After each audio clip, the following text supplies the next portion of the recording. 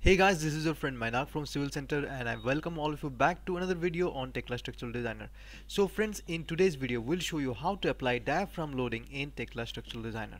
So friends, let us go to the level of the particular slab in which we want to provide the diaphragm loading. Let's say structure 1 and we'll remove the loading. Uh, after that, we will go to the loading part. We'll choose, let's say, a dead load and then we can apply the diaphragm. So if this option is not available you can just update your Tekla structural designer to the latest version. If you want to see the video to that you can find it here.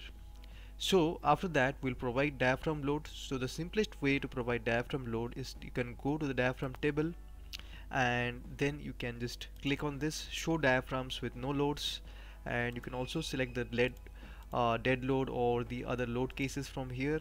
And after that you just click on add so after clicking on add you can just give the force values of which you want to provide them.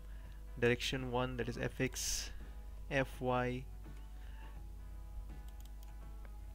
mz and these are the coordinates. This is by default the coordinate is taken at the center. When we click on ok we can just view it. As you can see it is taken at the center of the slab of the diaphragm and you can also view it in the 3d view. So the load for the diaphragm has been successfully applied and now if you want you can also generate some load combinations because we have changed the loading part. And after you generate the load combination you can go to the design part and just click on design all static. So as you can see the design has been done. Also you can go to the design option and then design the slabs. So as you can see we have applied the loading or the diaphragm loads and also we had done the design.